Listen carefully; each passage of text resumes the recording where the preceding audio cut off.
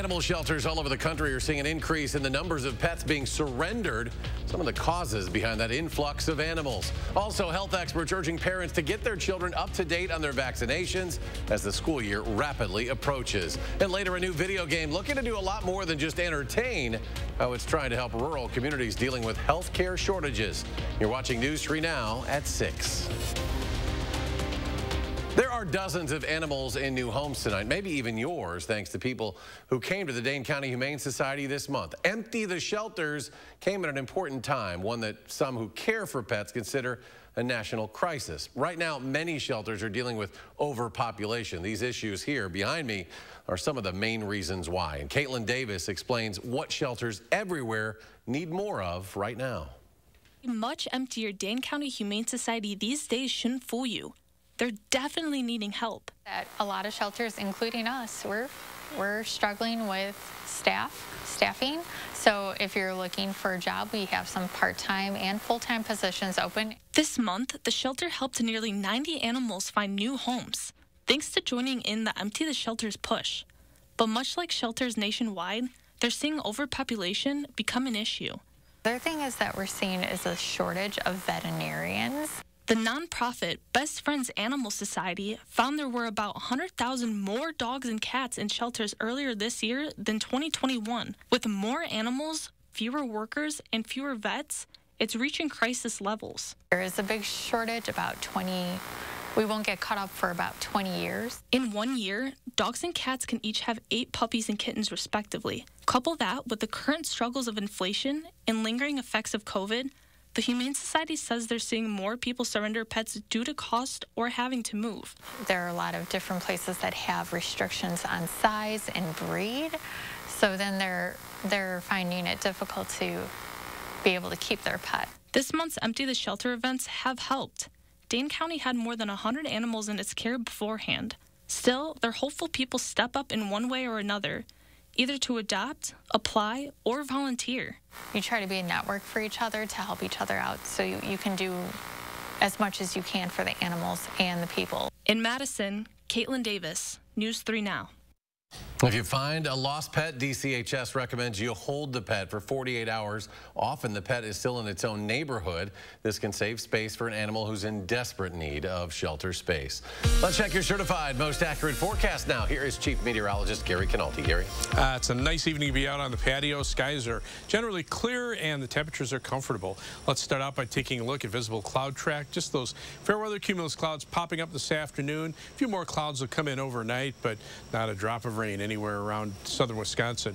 High temperatures today, upper 70s to the lower 80s. Madison, Janesville have reached the 81 degree mark. Uh, La Crosse a little warmer at 83. Current temperatures are mainly in the upper 70s now. Uh, 80 degrees right now in Boscobel, 76 in Juneau. But as we zoom into Dane County, everybody's in the upper 70s, although Edgerton right now still at 80 degrees. Otherwise, look for skies to be partly cloudy this evening. Temperatures will drop off to about 68 by late evening. Not looking for any rain tonight tonight, tomorrow, or probably Wednesday as well. But we are looking for the possibility for some rain after that. I'll tell you when it'll arrive in just a few minutes. Gary, thank you. Police are investigating after a man was shot on Madison's west side. Officers were sent to the 2200 block of Allied Drive about 9:15 last night. They found a 36-year-old man with a gunshot wound. He was taken to a hospital and is expected to be okay. Police say the victim and suspect allegedly knew each other. Anyone with information is asked to call Crime Stoppers. Lake Delton police say no one was injured yesterday when someone fired fired a gun outside of Walmart. Officers were first called to the store at 130 Commerce Street about 4.50 p.m. Authorities say they also got a report that a juvenile and a dog were missing, but when officers arrived, they found both the juvenile and dog were not missing or in any danger. Police determined a gun had been fired, but no one was hit or hurt. Everyone involved has been identified, but police did not say if anyone was facing any tentative charges related to that incident. Madison police say they arrested a man last night after he allegedly walked away from a crash near Monona Bay. Authorities allege the man was driving drunk at the time. It happened at the intersection of West Wash and South Park Street about 8.30 when police got to the scene. Witnesses told them a man who was involved had walked away from the scene. Police eventually found him. He denied being part of the crash, but they say keys found in his pocket belonged to one of those vehicles involved. Police arrested the man on a tentative charge of seventh offense OWI and cited him for hit and run and not having a valid driver's license. No one was hurt in that crash. State Patrol will be out monitoring traffic on I-90-94 throughout the day in Sauk County. Pilots keeping an eye out for vehicles speeding and or driving aggressively. If a traffic violation is spotted, the pilot will alert a state trooper on the ground to administer a traffic stop. Additional aerial enforcement is planned for I-94 in Jackson County if the weather permits. College students heading back to campus over the next few weeks have not one but two viruses to consider. After more than two years, UW campus leaders feel good on handling COVID-19, but now with monkeypox thrown into the mix, they're taking a few more precautions. When it comes to COVID, UW's protocol similar to last spring. Students are encouraged to take a COVID test before moving into residence halls and before the first day of class. High efficiency masks and at-home tests are offered free to students each week. There is a limited number of quarantine spaces for students living on campus. Ask for masks. They are not required, but encouraged when in large groups. For monkeypox, the school feels the risk of contracting it on campus remains low, but Students who think they've been exposed should meet with University Health Services. All students need to do is visit the My UHS patient portal, select make an appointment, and then follow the specific prompts for the monkeypox virus. And as students prepare for school, health experts are urging parents to get routine vaccinations for them. The CDC data released in April, researchers compared state and local immunization programs across the U.S. In the 2020-2021 school year, they found vaccination coverage decreased by about 1% for all vaccines when compared to the school year before. Dr. Julie Morita, a pediatrician and member of the CDC Advisory Committee, says in order to keep vaccine preventable diseases at bay, we have to keep the level of routine vaccinations high. If you think back over time, there were diseases like measles, mumps, chickenpox, whooping cough were fairly common. And we no longer see these diseases that often, and that's because of our immunization program. CDC researchers say enforcing vaccination policies and following up with undervaccinated students are key to improving vaccination rates. Pfizer and BioNTech have taken the first step to get emergency use authorization for their updated COVID-19 vaccine that targets Omicron variants. The companies say they've submitted their application to the FDA. Their bivalent vaccine would help protect against the BA4 and BA5 variants in people age 12 and up. The companies say the shot could be ready to start shipping in September, pending authorization. Next at 6, it is a video game you'll actually want your kids to play, and it's coming to a classroom nearby soon. But this game could have much deeper consequences than simply having fun. Helping in part to fix a growing healthcare problem in Wisconsin. Tahlil Mohadin got a firsthand look at it from developers today. Tahlil? Eric, that's right. Earlier today, I got a look at this game, and let's and it lets players role play real life healthcare scenarios, from answering 911 calls, driving an ambulance, and even administering emergency aid. It's an effort by healthcare workers, gamers, and teachers, all pulling their expertise to take a new approach to recruitment. Welcome to Ruralton, Wisconsin. Population 300. Everybody that exists needs to care about this. It's a fictional town in a video game called Rural Roads to Health Careers. So with this game, the whole idea is can we create awareness? Can we see how much interest is out there. The interest they're hoping to cultivate is with high schoolers across the state. They can't fix this problem yet, but to developers, this is about the long game. In many positions, it's a long ramp. You know, to become a physician is many, you know, it's a decade. So we can't wait until we are, you know, wringing our hands and saying, oh no, we don't have enough physicians. So far, players can try their hand at 35 real life scenarios, from doctors to paramedics to administration, without the commitment or risk. So then we're going to pile into the ambulance, which is over here, and drive over. Thank goodness you're here. My son Chris has had a bad asthma attack. And if they fail, no one really dies. They get to try again. But then through that process, they get to say, okay, if I didn't bring the right people on my team this time, who should I have brought? The game focuses on healthcare in rural communities, which even pre pandemic had a hard time recruiting and retaining staff. Not everybody wants to live and work there, but there are great things happening in rural Wisconsin healthcare. A notion these characters are going to great lengths to show. Developers hoping to start paving a road towards a long term fix. This is a complex problem. It's one avenue to really generate interest that's pretty exciting, you know? The game will eventually be available to all Wisconsin schools for free, but the initial rollout will focus on rural high schools with area health education centers, the first of which will be in October in the village of Amherst. Pretty interesting stuff. Tahlil, thank you. And still ahead on News 3 Now at 6, an update on the effort to clean up the Yahara chain of lakes system, plus Alliant Energy celebrating the completion of a new solar project in southwestern Wisconsin. How many homes are expected to get power from the site? That's just ahead.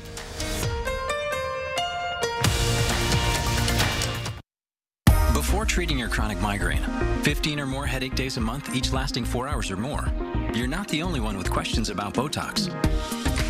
Botox prevents headaches in adults with chronic migraine before they even start, with about 10 minutes of treatment once every three months. So ask your doctor if Botox is right for you and if a sample is available. Effects of Botox may spread hours to weeks after injection, causing serious symptoms. Alert your doctor right away as difficulty swallowing, speaking, breathing, eye problems, or muscle weakness can be signs of a life-threatening condition. Side effects may include allergic reactions, neck and injection site pain, fatigue, and headache. Don't receive Botox if there's a skin infection. Tell your doctor your medical history, muscle or nerve conditions, and medications, including botulinum toxins, as these may increase the risk of serious side effects. In a survey, 92% of current users said they wish they talked to their doctor and started Botox sooner. Plus, right now, you may pay $0 for Botox. Learn how AbbVie could help you save on Botox. Made in America is more than just a slogan. It's smart policy. When we manufacture things here, our shelves are stocked, and it creates jobs you can raise a family on. Like my parents had. My mom was a teacher, and my dad worked third shift. I'm tired of the excuses from millionaires running the Senate. I'll bring manufacturing back here so folks like you who actually earn your paychecks finally get a fair shot. I'm Mandela Barnes, and I approve this message. Okay, and he got so upset. Oh my god. Look. No way. She has definitely got some work done. Doesn't even look the same anymore. Talk about an extreme makeover. I wonder how much money she spent on those upgrades. Hi! The house looks great, right? Three years, no interest on roofing and siding from Feldco. Right now, get three years, no interest on Feldco Roofing and Siding. Three years, no interest on Feldco Roofing and Siding ends soon. Call now. Call 866 for Feldco. You are watching News 3 Now at 6. Welcome back. Alliant Energy is planning on bringing solar energy to more homes as it hosted a ribbon cutting event in Richland County today to celebrate the completion of construction at its uh, Bear Creek solar site. It's named after the nearby trout stream there that flows from the Wisconsin River. The Bear Creek solar project will generate 50 megawatts or enough electricity to power approximately 13,000 homes when it's at peak capacity. This project is meant to serve all of our customers. In fact, the 50 megawatts, to give people an idea of the scale of that project, it'll serve about 13,000 average homes in the area. Now, there are 122,000 solar panels at the site, and tests are still being done right now. The solar project is expected to be fully operational this fall. A popular initiative looking to clean up the waterways in Dane County is giving an update on its next phase. Suck the Muck was first introduced by County Exec Joe Parisi back in 2017. The project analyzes and removes potential sediment or muck in streams that contain phosphorus, which can increase the frequency and extent of hazardous algae blooms. For its next phase, the project will work in the Six Mile Creek. It's estimated that approximately 25,000 tons of material will be removed, including an estimated 60,000 pounds of phosphorus pound of phosphorus can equal up to 500 pounds of algae. This is from one pound of it um, um, dissolved in the water. Since the initiative first started, 31,000 tons of sediment containing over 100,000 pounds of phosphorus have been removed. Still ahead on News 3 Now at 6, mullet madness in Wisconsin. Plus, when is the right age for your child to have their own phone? The new tool introduced that can help parents decide when their child is ready. And a great start to the week, but could we see some rain down the road? Gary's back with your complete forecast after the break.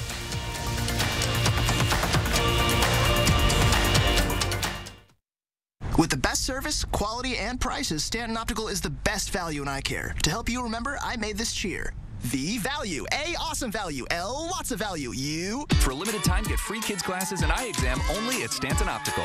Walk-ins welcome. Fjords has been crafting beautifully designed functional furniture since 1941. Every aspect of Fjords furniture has been carefully engineered to create a higher level of relaxation. Right now at the Century House, purchase any Fjords furniture and receive up to 20% off. All models, all sizes, all colors. Experience the unmatched relaxation you can only achieve in Fjords furniture. Relaxation made beautiful. Visit the Century House at 3420 University Avenue in Madison or online at centuryhouseinc.com. Honda, every summer adventure is the destination.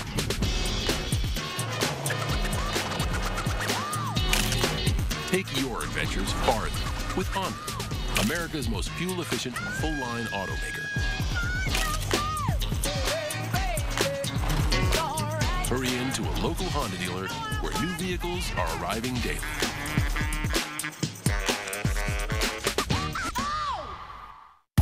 Before treating your chronic migraine, 15 or more headache days a month, each lasting four hours or more, you're not the only one with questions about Botox. Botox prevents headaches in adults with chronic migraine before they even start, with about 10 minutes of treatment once every three months. So ask your doctor if Botox is right for you, and if a sample is available. Effects of Botox may spread hours to weeks after injection, causing serious symptoms. Alert your doctor right away as difficulty swallowing, speaking, breathing, eye problems, or muscle weakness can be signs of a life-threatening condition. Side effects may include allergic reactions, neck and injection site pain, fatigue, and headache. Don't receive Botox if there's a skin infection. Tell your doctor your medical history, muscle or nerve conditions, and medications, including botulinum toxins, as these may increase the risk of serious side effects. In a survey, 92% of current users said they wish they talked to their doctor and started Botox sooner. Plus, right now, you may pay $0 for Botox. Learn how AbbVie could help you save on Botox. Stanton Optical is the best value in eye care. We did the math, people. For $79, you get all this. That costs over $400 at Lens Crafters, over $200 at Walmart, and over $150 at America's Best. When it comes to value, Stanton Optical is the top bird. Watching News 3 Now at 6. Welcome back. In the digital age, many parents are struggling with when their child is ready for that first cell phone and how much time they should even spend on screens at all. Now the American Academy of Pediatrics and AT&T are launching tools to help families decide if kids are ready for a phone and help create safe, responsible media and technology use. This questionnaire asks, does your child keep track of their things and whether you trust their judgment when you aren't there to gauge if the family is ready. Parents can also build a customized media plan for the entire family. What boundaries do you want to set around technology so kids can have healthy sleep, they can have undistracted homework time, whatever is important to your family, controlling tech and enjoying it, not feeling controlled by it. Media use among tweens and teens has skyrocketed since the pandemic. According to Common Sense Media, teens spend over eight and a half hours a day on screens. A Wausau teen is being recognized for his business in the front party in the back hairstyle. Caden Kershaw won a nationwide contest held by USA Mullet Championships. Check it out. The Wausau West senior says he's been growing his golden locks now for about three years. He was thrilled to find out he won and says his mullet is definitely an attention grabber. It's kind of funny getting all the attention because when I first started growing the mullet, I never like imagined this stuff, you know. Like I said, it was just a joke at the time. In addition to a big trophy, Kershaw also won $1,000. So what'll he do with that money? He's donating it to Peyton's Promise, a Wausau nonprofit that provides food to local pantries. And Caden wasn't the only Wisconsinite that won a mullet championship. That's Emmett Bailey from Menominee who took home first place in the kids division. Emmett who is also known as Mullet Boy, was able to take first place on the last day of voting. Another Wisconsin boy, Axel Wenzel from Brillion, came in fourth place, making them the only two boys to finish in the top five from the same state. And coming up on News 3 Now at 10, we catch up with Emmett and find out his secrets to growing a championship-worthy mullet and what he did with his prize money. Meteorologist Gary Cannalte. I think you should grow a mullet, Gary. What do you think? I was going to say mullet. that, you know, that, that, brings back, remember uh, when COVID started and all the hairdressers shut yeah. down, you know, the, our That's COVID hairstyles? started for those That's guys. Probably, yeah, very much so, yeah. well, tonight, uh, skies are mainly clear, at least uh, for the time being in Madison. Live view from the Edgewater Sky Skycam showing clear skies and no rain across Wisconsin. just a couple of light showers up in Lake Superior, and that's about it for the upper Midwest. Three things you need to know in the forecast. We'll see some patchy fog again tonight and possibly tomorrow night as well. Shouldn't be too widespread, shouldn't be too dense, so not a big problem there. Dry weather for tomorrow and also for Wednesday as well, with high temperatures in the lower 80s both days. Then we'll see some scattered shower and thunderstorm chances from Wednesday night into Thursday. Right now, it doesn't look like it's going to amount to too much. As we check out high temperatures over the next 10 days, the average high temperature should be in the upper 70s, We'll be in the low 80s next couple of days, drop back into the upper 70s for Thursday and Friday, back to the low 80s for next week, and also a little more humid too, and that could lead to some thunderstorm chances there. And then temperatures will show a little more significant cooling, highs in the low to mid 70s toward the middle and latter parts of next week. As we check out weather track, you can see right now high pressure is located just out to our west. The winds are pretty light. Uh, there's a cold front up to the north. That's what's generating the showers up toward Lake Superior, but the heat is out to the west. That's where temperatures are in the 90s. This part of the Midwest, very comfortable. Upper 70s to around 80 degrees. Dew point temperatures, they're also down, mainly in the 50s, so pretty comfortable. The more humid air, a little farther to the south, a little farther to the west, but even there, it's not terribly humid. And as we check out future track, you can see just a few clouds tonight. Again, some maybe some patchy fog forming. And then tomorrow, lots of sunshine during the day. Winds start to become a little more southerly with time, although not very strong. And then as we head into Wednesday, we'll see more sunshine, high temperatures topping out again in the lower 80s. Next chance of rain will be with these showers and thunderstorms more likely Wednesday night into Thursday. Otherwise, for tonight, look for skies to be partly cloudy across most of uh, Dane County. Look for a low temperature of 59 Waunakee, 58 here in Madison, and to the east, look for a low of about 59 in Deerfield. Clear skies there. Uh, for the rest of southern Wisconsin, Milwaukee will be a little bit warmer, closer to Lake Michigan with a low of about 65, but elsewhere, 58 Lone Rock, 62 degrees in Monroe. And then for tomorrow, we're back to partly sunny skies and another nice day. High temperature at 81. Winds will be pretty light, too, making it feel pretty nice. Otherwise, 7 to 10 day forecast. Shower and thunderstorm chances Wednesday night into Thursday. Not looking for a lot of rain there. Then Friday, Saturday looking dry. Sunday and Monday, as humidity levels come up, a little better chances for showers and thunderstorms. Probably the best bet on Monday. And then those temperatures drop off as we dry out and cool off with highs in the lower 70s by the middle of next week. All right, Gary, thank you. Everybody's ready for football season, right? Well, if you're planning to tailgate, you better plan to pay up. No surprise, according to a new report, the prices of a number of tailgating essentials have gone up because of inflation. These include things like gas, airfare, and groceries. But if you're grilling, propane and firewood, they're up about 22%. To save money, they say opt for hot dogs or pork ribs, which aren't up as much as chicken or ground beef, and fresh fruits and veggies are a better bet compared to packaged snacks. Of course, you can always just sit back, relax at home. TV prices are actually down. Zach?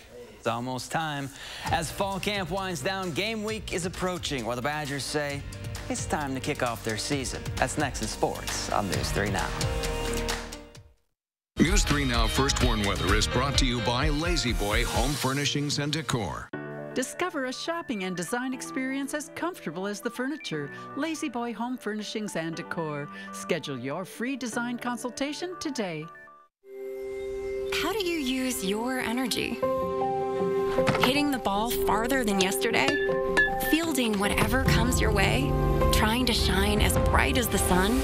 At Alliant Energy, we bring more clean, renewable energy to our customers every single day to power what matters to you. Because even during the most powerful moments in our lives, we're not thinking about power, we're thinking about each other. Alliant Energy, powering beyond.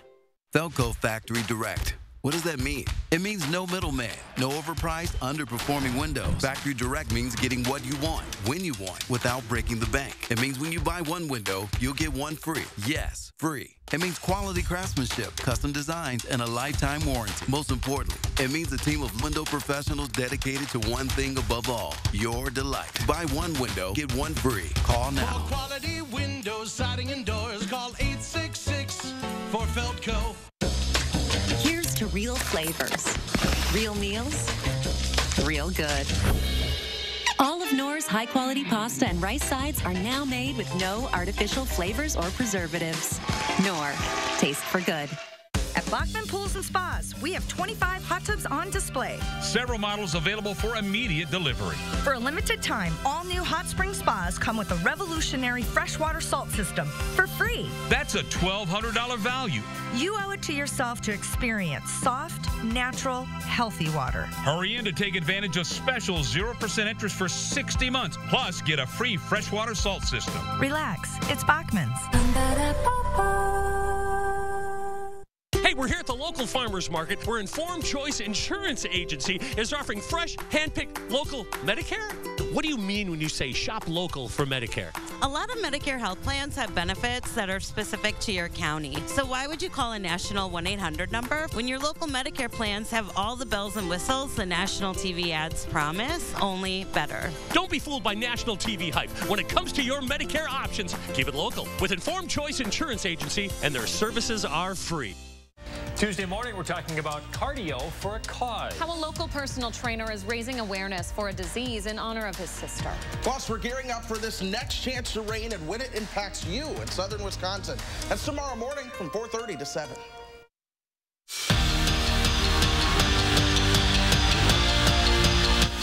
With fall camp just about over, that means one thing for Wisconsin football. It's almost game week. The countdown for UW's season opener against Illinois State is at 12 days. And in 12 days, the Badgers can finally show off all the work they've been putting in. From spring ball to summer conditioning and now to fall camp, it's time for Badger football. The days are long, but the weeks are short, man. So it's like, you know, you'll get into the day and it'll feel like a grind and you're going over stuff, but then, you know, next thing you know, it's next week. Um, but as a group, I feel like we're starting to get things together. We've been working for so long, you know, uh, starting to see a lot of things come together for both sides of the ball. Um, you know, guys are looking good and guys are really starting to uh, fit into their roles. The preseason hype train keeps on chugging along for Braylon Allen and Nick Herbig. Today, the Badger duo were named preseason second-team All-Americans by the AP. Allen's coming off a year where he rushed for over 100 yards in eight of the 11 games he played in, while Herbig was Wisconsin's sack leader, tallying nine. After finishing in the bottom half of the Big Ten last season, it's almost time for Tony Granato's squad to hit the ice to right that wrong. Wisconsin unveiled its conference schedule for the upcoming season, and for the first time since 2009, UW is opening up with a conference foe. They'll head to Columbus on October 7th for a series at Ohio State. After a pair of non-conference weekends, the Badgers will welcome Penn State to the Kohl Center. And of course, the border battle renews December 9th in Minnesota. The two teams will play in Madison on February 10th. Staying on the ice, the Madison Capitals have rounded out their coaching staff, bringing in Tom Gilbert as their director of player development and assistant coach. You may remember Gilbert. He was part of Wisconsin's national championship team in 2006, scoring the game-winning goal against Boston College. And speaking of schedule releases, Wisconsin Wrestling announced their non-conference schedule for the upcoming season. On November 5th, they'll head to Jacksonville for the first ever Battle in the River City, then to Cornell on November 19th. The first time to see the Badgers at the Fieldhouse will be December 11th when they host Drexel, and the final non-conference duel of the season for them is set for February 18th when Northern Iowa comes to town. They're all back in school soon. That Here means we go. sports is coming. Your busy time. No is about- vacation. It's already here, Zach. Final check with Gary.